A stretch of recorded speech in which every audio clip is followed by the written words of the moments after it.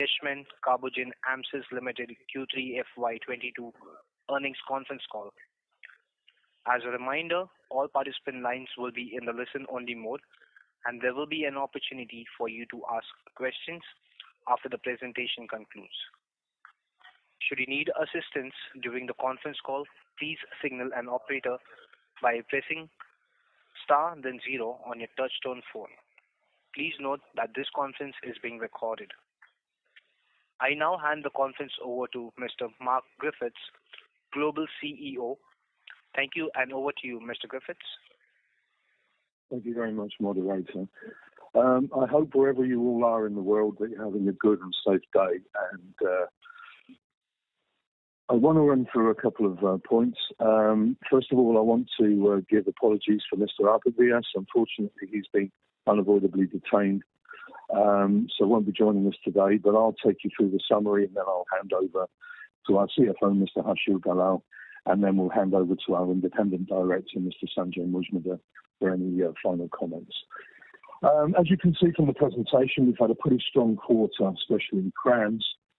Um, we continue to make really good progress on the EDQM issues in India, and we're about 80% through those items now, which is remarkable uh, remarkable progress. And we're very uh, confident that we'll be able to meet the end time point for that and uh, get ourselves back and qualified in India. The market generally remains very, very strong, especially for CRAMS. As you can see from the pipeline, the pipeline continues to be very strong. Um, as it relates to marketable molecules, we still see very, very good interest and strong growth in the vitamin D analogs. Our cholesterol business is stable, which is also very good. Um, and our disinfectant and quaternary compound business remains remains interesting to customers, and we're making progress there as well. COVID, however, does remain a challenge to manage. We are managing it along with every other company in the world, but it is a challenge. Generally, one of the biggest issues we've seen is a is a rapid rise in transportation and logistic costs, and we're obviously managing that with our clients uh, as we move forward. And of course, the general worry is that uh, there are crazy rising prices, especially in Central Europe, for uh, basic utilities like gas, electricity, water, etc. And Again, these are challenges that we have to manage, at least in the short term. But in a general sense, the business is moving forward. The trajectory is as we have planned and as we've all talked about over the last couple of years. So what I'd like to do now is uh, to hand over to Mr. Harshil Dalal, our CFO, and he'll take you through some of the headline numbers. Uh, thank you very much. I'm looking forward to an energetic and interesting discussion. Over to you, Harshil. Bye. Thank you very much, Mark. Hello, everybody. Uh, I hope you, your families are safe during these COVID times. As far as the quarter is concerned, uh, it was a very strong quarter for us at a consolidated level. We clocked a revenue of 562 crores uh, for the quarter ended December 31, 2021. and This translates into a nine months performance of 1,571 crores um, as against 1,382 crores for the nine months last year. Our gross margins uh, remain strong as well. So we we had a gross margin of around 77% for the quarter uh, and about 81% for the nine months. So as we have been saying, our gross margins uh, are typically in the range of about 80%-82%, so we are very much on target for that. The employee expenses during the quarter does show an increase as compared to comparable quarter last year. Uh, but one of the major reasons is basically we we require people, we require the scientists in order to in order to make sure that we are able to fulfill the the the pipeline, the strong pipeline that we have on the development side. As you can see from the presentation, uh, typically our development pipeline is around 90 95 million. As against that, uh, right now we have a development pipeline of about 115 million. So these additional employee expenses would translate into incremental revenue uh, in the in the near to long-term future. The other expenses uh, stood at about 68-69 crores. Uh, as compared to 82 crores in the, in the previous quarter and 96 crores in the comparable quarter last year. So we had a certain reversal of provisions in the current quarter, which was, and these provisions were done in the in the first six months, which were no longer required, and hence uh and hence you see a lower other expenses. All of this translated into an EBITDA of about 109.5 crores for the quarter and 309 crores for the first nine months. Uh so our EBITDA margin for the quarter stood at about 19% and about 20% for the nine months, as compared to about 13% in the in the comparable quarter last year and uh, similar kind of number for the nine months uh, at FY 2021. Um, as far as our finance cost is concerned, that more or less uh, remains in line with what we had last year, um, which is close to about 40 crores for the first nine months. And uh we we reported a profit before tax of about 38 crores for the quarter, Uh, which translates into about 81 crores for uh, the nine months as compared to a loss of 51 crores uh, for the first nine months of last year.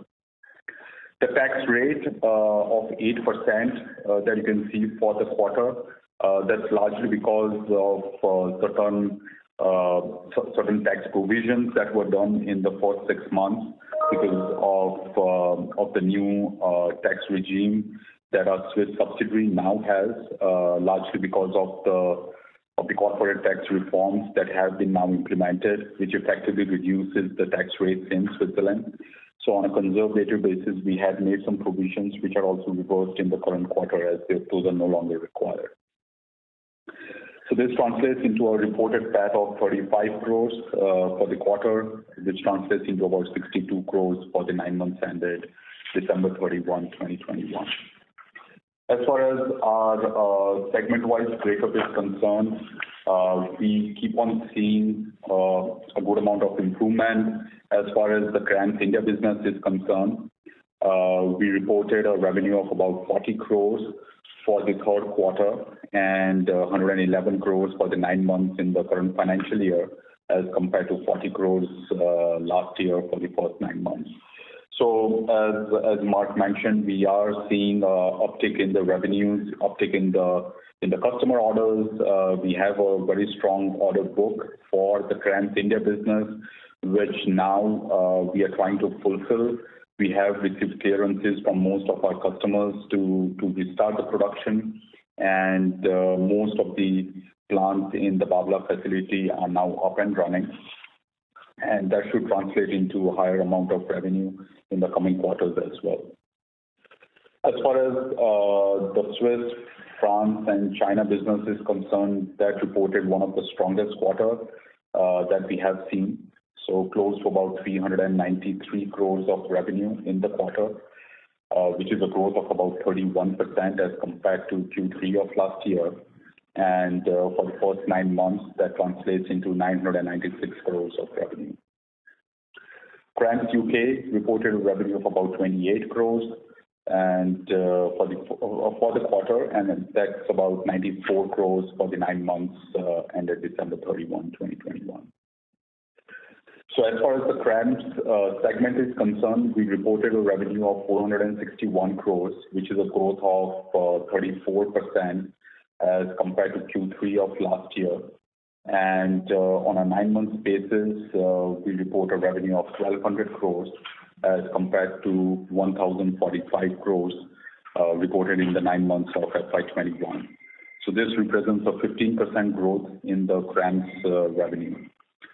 As far as the marketable molecule segment is concerned, the major contributor is Carbogen-Amcis B.V., our Dutch subsidiary. Uh, it reported a revenue of 54 crores for the quarter and uh, 242 crores for the nine months, uh, as compared to 64 crores for the quarter and 189 crores for the nine months of FY 2021. We did not see those many shipments of vitamin D analogs in in the last quarter, and that is the reason you see a dip in revenue as compared to last year Q3. But as we have been mentioning, um, you know, it's difficult to compare us on a quarterly basis. So, uh, in the current quarter, we are expecting a good amount of shipment of vitamin D analogs out of the Dutch subsidiary, and uh, that would mean a significantly strong year for Carbogen Amcis BV. As far as the other segment is concerned, which uh, largely includes our traditional products from India, Uh, that reported 46 crores of revenue for the quarter and 127 crores for the nine months. All of this put together resulted into marketable molecule segment reporting a revenue of 100 crores for the quarter and uh, 370 crores for the first nine months.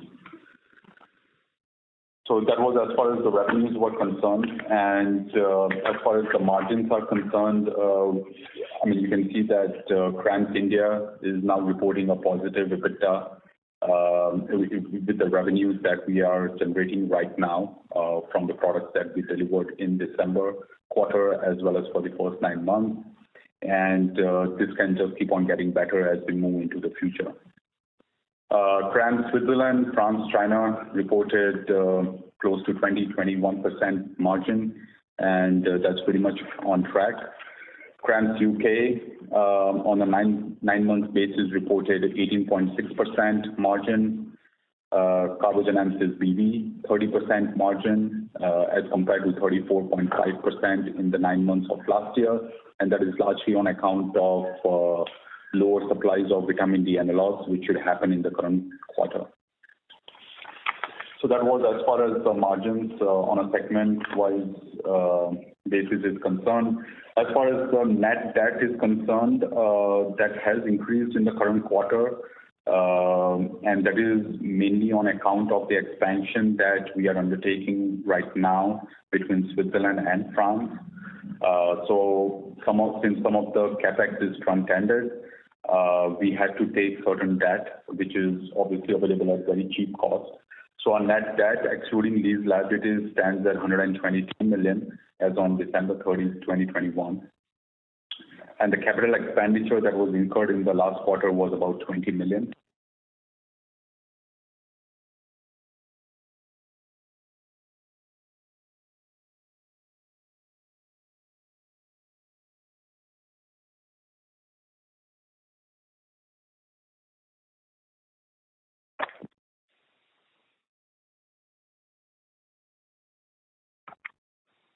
Hello?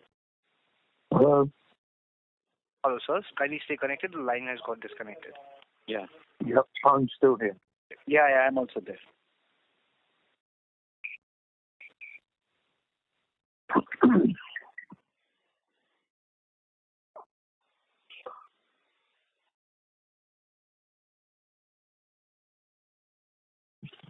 Sir, we're back in the call. You may please Yeah. proceed. Yeah, thank you. Is it all all for uh, everybody connected on the call? The line has been connected. You can continue. Yep. Thank you. Okay. Yeah, so the capital expenditure for the first nine months is uh, close to about 50 million. and um, uh, uh, We expect um, another 10 million-15 million of additional CapEx to happen in the last quarter. Uh, but the expansion program uh, that we had set, uh, that's very much on track. And um, we expect the commercial operations in France to begin in January of 2023. I think with that, I'd like to hand over the call to our independent director, Mr. Sanjay Majmudar, for his comments. Thank you very much. Thank you, Harshil. Thank you, Mark. Good afternoon to everyone. I think um, the highlight of the quarter, as explained by Mark and Harshil, is that things are on track. Everything is looking good. Globally, the businesses are looking very, very robust, be it Carbogen Amcis, that is the main Switzerland operations, Holland operations, France operations. Even China is picking up. And from an Indian perspective, I think we are coming closer to the last mile phase of the Uh, corrective action plan for the EDQM, hopefully by first quarter of next year. If the acceptance is there, then I think next year we should see more or less Ilumya India, including Bavla, coming back to the original normal self, because most of the customers have already, you know, approved the facilities and uh, I think overall everything looks to be uh, on track, and hopefully next year should be the complete normalcy plus the normal growth. And obviously a significant growth in the margins, thanks to India stopping uh, even minor marginal losses and coming back to the positive uh, trajectory. I think uh, with this, moderator, let's throw the house open for Q&A. Thank you. We will now begin the question and answer session. Anyone who wishes to ask a question may press star and one on their touchtone telephone. If you wish to remove yourself from the question queue, you may press star and two. Participants are requested to use handsets while asking a question. Ladies and gentlemen, we will wait for a moment while the question queue assembles.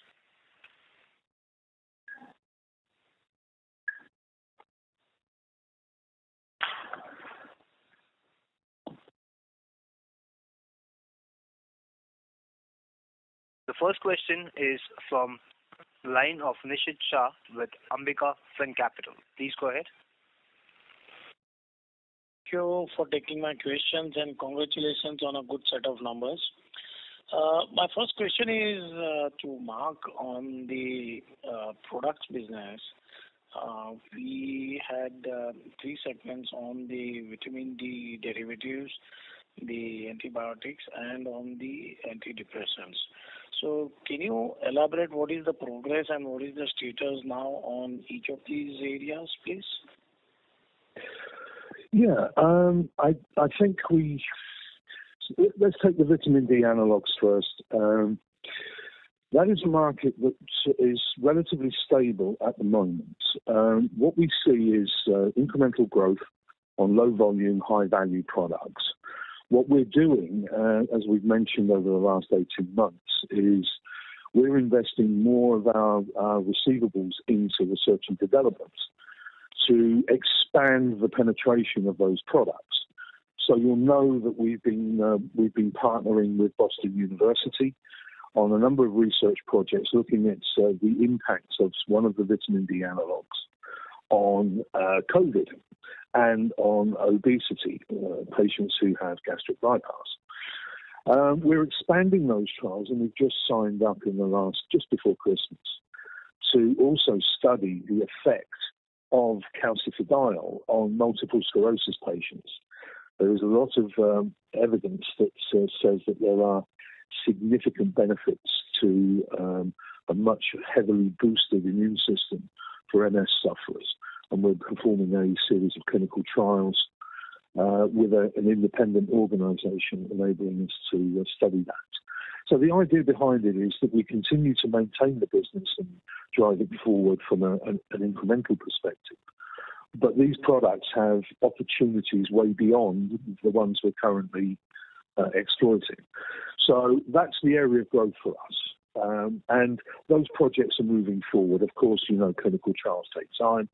The patents have been filed. We're still waiting for a response back from the patent office, but at the moment, everything looks good. So we'll be able to lock in some IP on some of these indications as well, which is rather exciting. As it relates to the other products, they're not really what I would call franchises in themselves. Maybe what we've we've had is a bit of confusion. One of the areas we're looking at is disinfectants. It's a traditional business. Uh, in fact, where Mr. Vyas Senior actually started Dishman way back 40 years ago. Mm, similar to what we've been doing with the analogs, we're looking at the efficacy of some of the uh, disinfectants that we have, and we've embarked on a research project based on some R&D work that our colleagues in India have uh, done on encapsulating certain uh, disinfectants. And we're looking at uh, studying ways of being able to encapsulate disinfectant for bacteria with a microbial, um, with a viral agent. That means that we're heading towards a super disinfectant that can deal both with viruses and with bacteria. Um, and that's something that we have embarked upon with the University of Lausanne as a partner in uh, working on this. So what we're doing with those businesses is we're bringing them back to their normalcy. and then we're looking at what other benefits, what other areas of opportunity exist for these businesses, and then we're going out and pursuing those. So we see quite a bit of potential growth in those businesses where maybe in the past the view was that they were stable businesses and they were just good baseload. Um, we actually believe that there's opportunity there to significantly increase the headroom for the business. And being a product business, of course, uh, the margins can be uh, quite interesting. So uh, we're on the trajectory we've set internally for these projects, but it's all about um, looking at those products and, and, doing work ourselves to bring new indications and new areas of interest for these products so that we can increase the uh, attractiveness of the business there.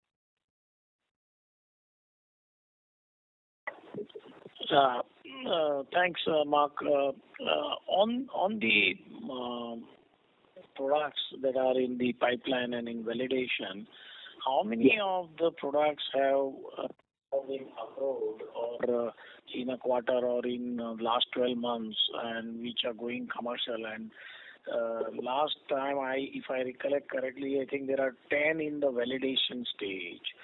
Now, of that, what is the progress? If you can give some color on that. Um, I'll do my best because it's not in our control in terms of you know, the end point and where the customers file. But I think I've been fairly consistent in saying a good performance for us over, you know, blended over many years would be somewhere between two and three commercializations a year.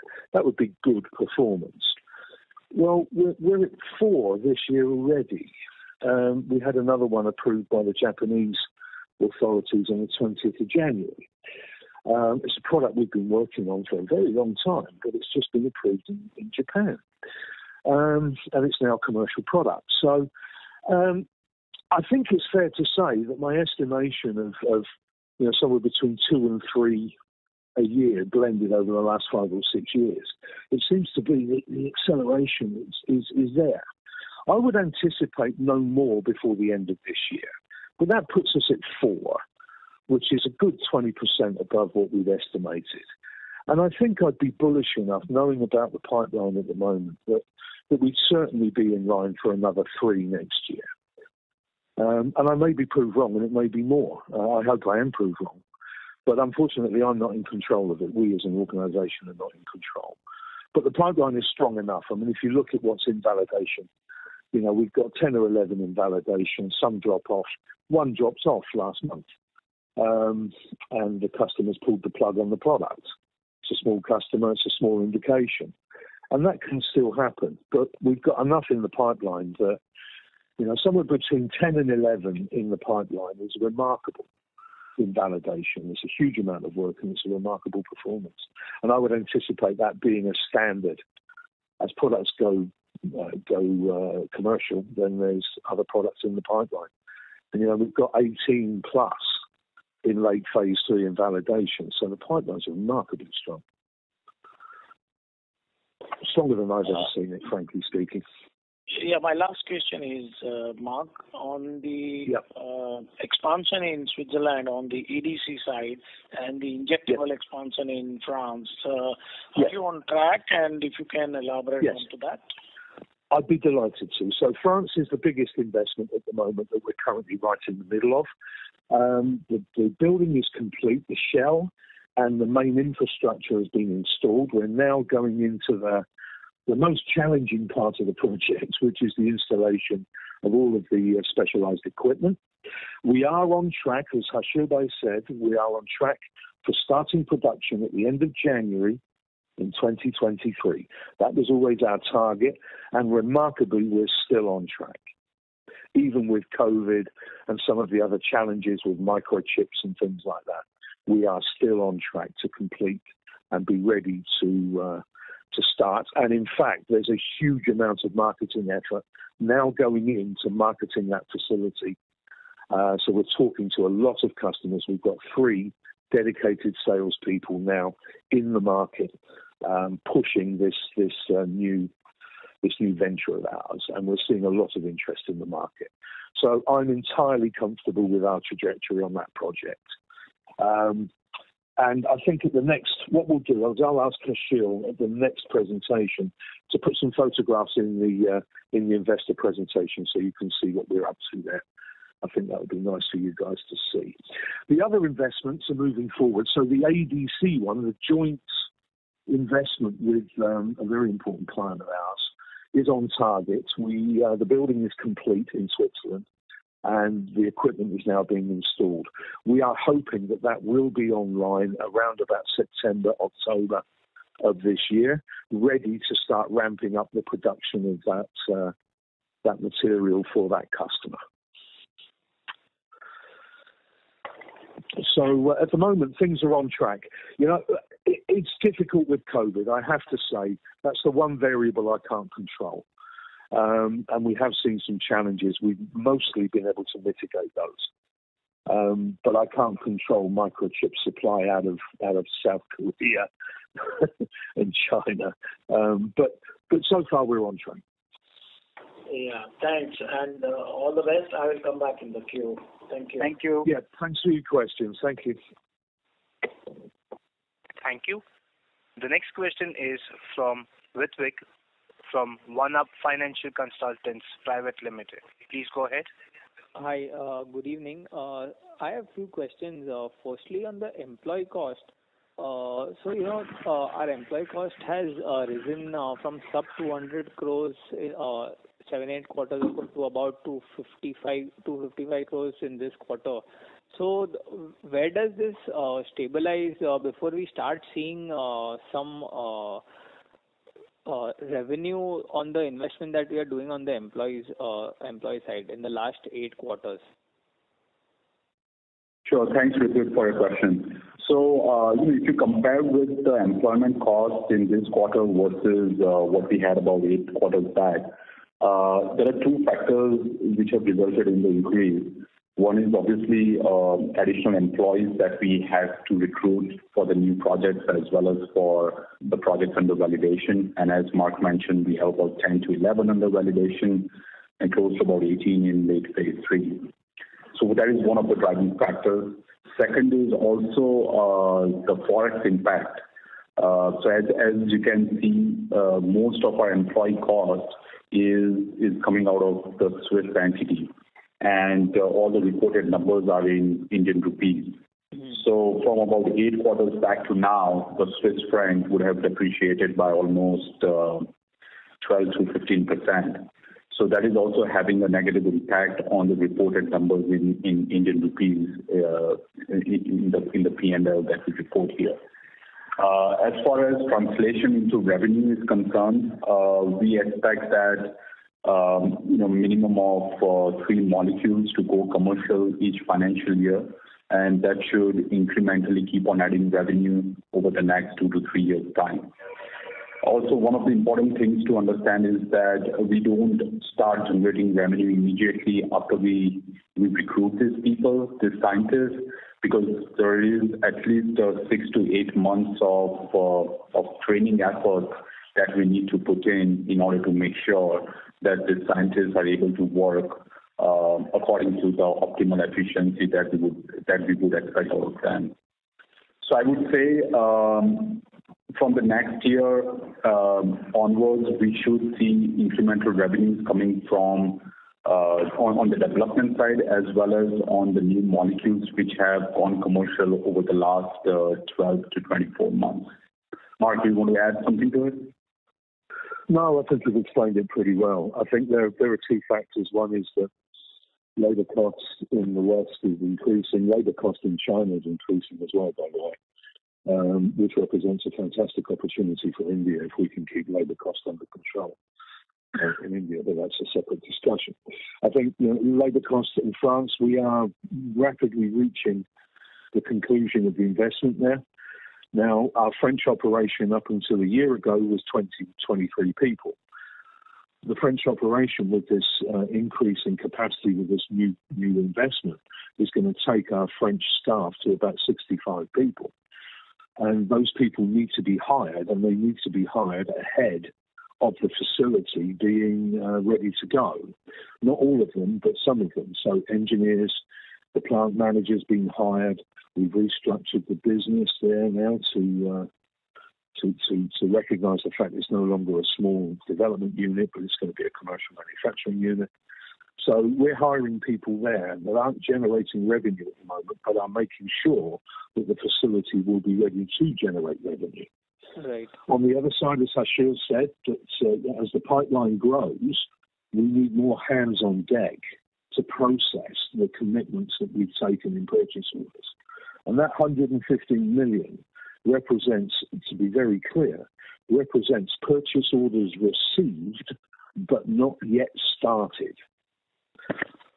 Now, if you compare that to three years ago, when we were sitting there saying happily our order book would be about 80 million, you can see there's been a significant ramp up in our um, ability to capture work and good value work.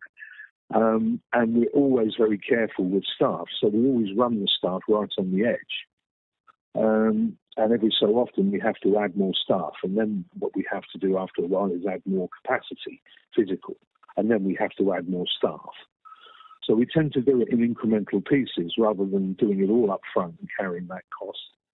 Right. Uh, it's just the way we operate. So I hope that's with, with Harshil's answer gives you a picture. Yeah, yeah. So would would it be uh, fair to assume that employee cost should stabilize around current levels, or uh, you know, uh, assuming the uh, Swiss franc uh, stays uh, around uh, these levels, uh, and employee cost to stabilize around 250 260 crore on a quarter? I would say so. Yeah, I think uh, we should stabilize at more or less around 250, 260. Okay, sure. I mean, till the time, you know, we again keep on getting new and new orders and uh, the order book grows from where we are right now, and so will the molecules. Kind of a lead indicator to the uh, potential revenues that will come in. The- Absolutely. Right. Absolutely. Sure. Sure. Uh, And uh, so second uh, question is on, uh, you know, the uh, uh, increase in revenues from the CRAMS, Switzerland, France, and China segment. So, would there be anything specific, order specific, one order specific that would have driven this, or this is across all the three geographies and this kind of number can be sustained going forward? Yeah, I think China China's been something that we've been pushing very hard. Hmm. Um, and, and as Harshil said, it is now positive and contributing rather than uh, being a drag on our on our cogs. Um, we have three particular projects there where we have customers who are now committed to manufacture larger scale products and intermediates in China, and that will this year really show a nice uptick for China. And that's effort around convincing customers that you know Switzerland is not the best place to do some of the larger larger volume work Hmm. um, and our China operation is is is more than fit for purpose. Um, France is just as we've increased our capability, we've increased our penetration in the market and attractiveness. Switzerland is a long-established business, as you will know. It's 35 years old, 40 years old. Um, what we're seeing is that we have become more effective in the market in selling. I think we've become a bit more efficient so we're more competitive, and we still have some way to go on that, of course, and that's one of the initiatives for next year. Um, but also, the market is just very, very strong at the moment. Healthcare generally is is in the public eye um, due to COVID in no small way, and I think that's that's stimulated the money markets, especially in the areas uh, in the US small biotechs have been stimulated with a lot of investment going into small biotechs, southern Germany and the US. Um, and we're seeing the outcome of that, which is more projects, more customers active. The number of pharmaceutical companies is growing. Um, and as a result of that, there's a need for good contract manufacturers. And Dishman Carbogen Amcis is pretty good, frankly speaking. Sure, sure. Okay. And uh, my last question is on uh, uh, Bavla. Uh, So last two quarters, we are stable at around uh, 40 crores on a quarterly basis. So so do we expect quarterly improvement from Q4 onwards, or as you mentioned in the opening remarks, that Q1 uh, uh, we'll stabilize and then we'll ramp up. So Uh, you know, what is the direction uh, towards uh, pre-EDQM issue run rate? And last couple of quarters, we've been seeing that we should see quarter-on-quarter growth, but this quarter it's been flattish. So anything specific to look into? If you can just throw some color on that. Yeah. So Ritvik, we do expect that, uh, starting from Q4, we should see a quarterly increase in the revenue on the CRAMS India segment. Uh, we had, I mean, we were expecting one of the shipments for one specific order to go out in December. However, that's going out in February. So there was a delay in servicing that particular order on account of certain engineering modifications that we were undertaking in Bavla. Uh, but yeah, I mean, we already have uh, orders in hand worth about $30 million. Uh, and you know, we should see good amount of growth starting from Q4. Sure. Okay. And all the customers which were with us before the issue have approved of the site, right? Uh, would that Yes. Yeah. So we do have orders from uh, almost all of those customers except for uh, one of them, where you know, it's more of a discussion on the commercial side. But apart from that, yeah, most of the customers, you know, either they have done a remote audit or they have been satisfied based upon the detailed risk analysis, which was supplied. So from that perspective, uh, we do have the orders from them. Having said that, we are still in the process of implementing the corrective action plan uh, that we had given to the EDQM. And as Mark mentioned in the opening remarks, we are about 80%-85% there. So uh, the plan is that in the next, um, I would say six months time or so, we expect the EDQM to maybe do a re-inspection or, um, I mean, physical or remotely, and then we should get a clearance from them. So that's our internal expectation. Okay, Okay. Uh, okay, sure. That's it from my side. All the best and thank you. Thanks. Thank you. Thank you. Thank you. The next question is from Neelam Punjabi with Perpetuity Ventures. Please go ahead. Um, Thanks for taking my question. Uh, my question pertains to a dydrogesterone molecule. So, the market for this formulation in India is growing at a very healthy pace of 40%. And the branded generic players who are entering this formulation mentioned in their earnings call that there are two, there are only two API manufacturers in India. And when I looked it up, I saw that Dishman is one of them. So I just wanted to know two things here. A, are we manufacturing the API end to end, or are we um, uh, manufacturing only the intermediate? And B, uh, given it is complex to manufacture this API, are we seeing any major opportunity there as the formulation market is growing at a very healthy pace? I think um, we are registered as a manufacturer of digestive dydrogesterone. We are looking at it um, internally, um, but we're not looking at it for the India market. We're looking at it for the uh, European and U.S. market. So, right now, Neelam, we are we are, uh, we were manufacturing the the intermediate and not the final API for one of the customers.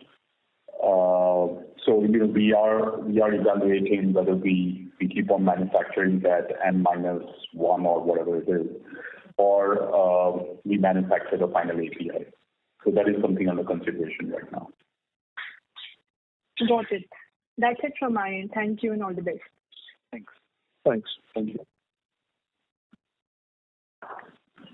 Thank you. The next question is from the line of Naman Jain, an investor. Please go ahead. Yeah. Hi. Uh, First of all, many congratulations on good set of numbers. Thanks. Good to see the company back in green. You. Just a couple of things from my end. First is uh, taking the Bavla discussion forward. Uh, so the last time uh, we had a call, uh, you mentioned that uh, you know, out of 13 units, eight are up and running. Just wanted to get an update, uh, what is the status now? Because we were expecting Q3 everything to be up and running.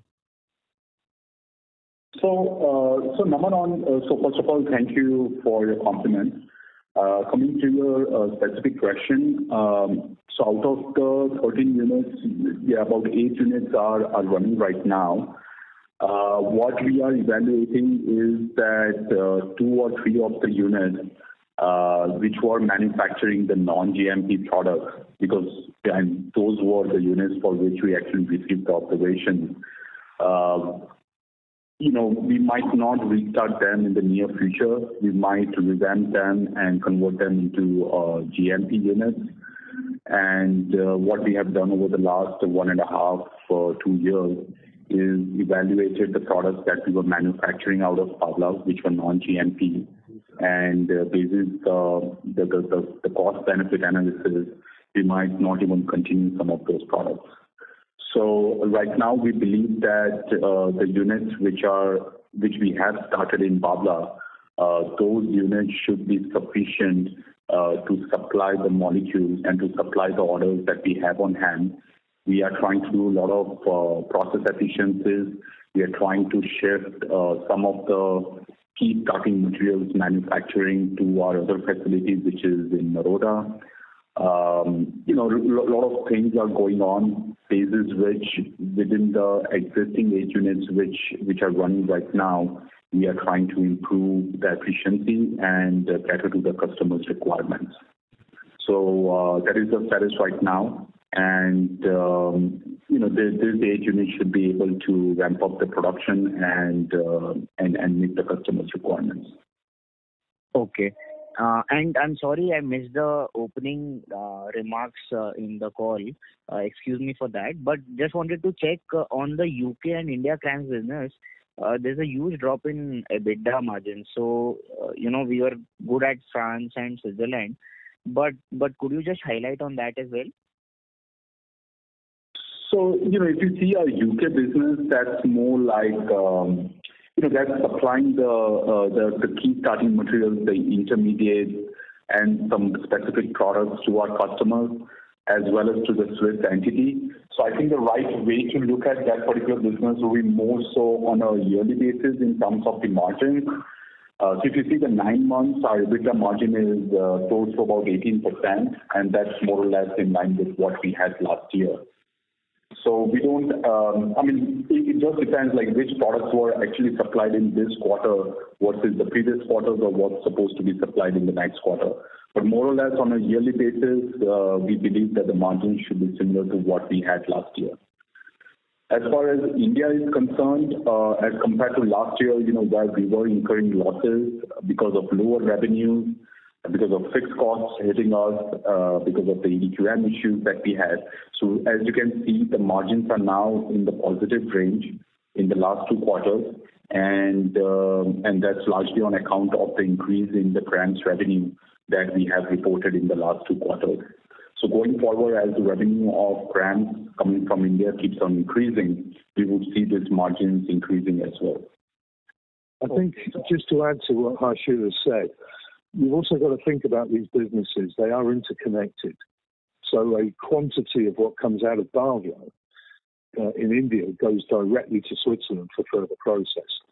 80% of the output of Manchester is actually to support early stages in product uh, manufacture for Switzerland. So they kind of are integrated um, in some way, shape, or form. They're connected. They're not standalone. Okay. Okay. Thanks for that, Mark. Uh, great. Thanks. Information. Yeah. And just uh, on a consolidated level, uh, in maybe a couple of years from now, what EBITDA margins do are we looking at? Because I think we are at about 20% right now. We've reached 20%. Top line is similar to, I think we'll clock pre-COVID levels maybe this year as well. But on a margin basis, consolidated level, what blended margins can we look at? We expect that, uh, you know, if you take a three to five-year view, we should be closer to 30% at an EBITDA level. Okay. Okay. And just one final point from my end. There was this uh, uh, promoter company loan that was outstanding, which was, you know, promoter had sold off their shares and repaid some part of it. Any updated status on that? Is that closed or is there some outstanding or and when it is to be cleared? Yeah. So, uh, we had already, um, I mean, there was already a repayment done of about 72 odd crores. Uh, so now the outstanding, um, I mean, I'll have to get the exact figure, but I think it's uh, close to about fifty to sixty crores. Um, so that should happen, I would say in the next 12 months or so. Okay. Okay. All right. Thank you. We don't we don't plan to do an OFS for that. Yeah, Yeah. You clarified this in the last call as well. Yeah. Exactly. Yeah. Thank you so much, and all the best for your future quarters. Thanks. Thank you very much, Naman. Thank you. Thank you. Ladies and gentlemen, again, if you have a question, please press star then one on your telephone keypad.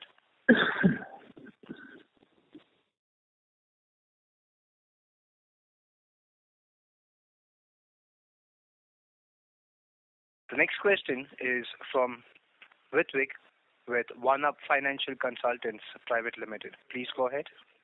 Yeah. Hi. Thanks for the follow-up. Uh, just, uh, you know, taking a three to five-year view, uh, with France and Switzerland, we're looking to expand capacity in the next 12 months.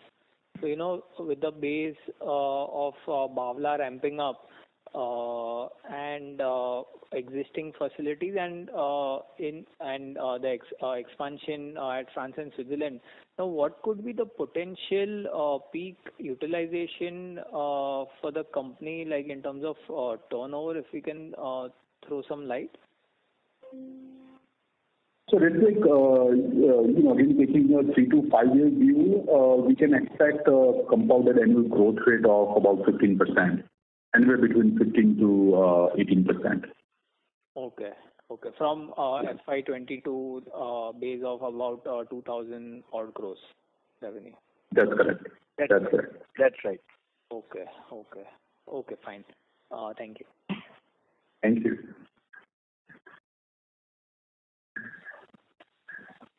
Thank you. Again, if you have a question, please press star then one on your telephone keypad. I mm-hmm. think if there are no more questions, we can close the call. Harshil? Yeah. That should be okay. Thank you. As there are no further questions, I would now like to hand the conference over to the management for closing comments. Okay. So, uh, First of all, from my perspective, thank you very much. Um, this team is working hard to continue to meet our commitments, both to our customers and to our investors and promoters. Um, we'll continue to work very hard to uh, generate uh, the promises that we're making and the commitments that we've uh, taken on. So thanks for your support.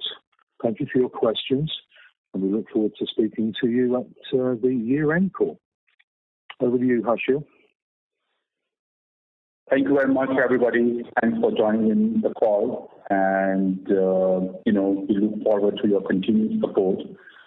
And uh, we also look forward to talking to you sometime in April or May. Thank you very much. Thank you. Thank you. On behalf of Carbogen Amcis Limited, that concludes this conference. Thank you for joining us, and you may now disconnect your lines.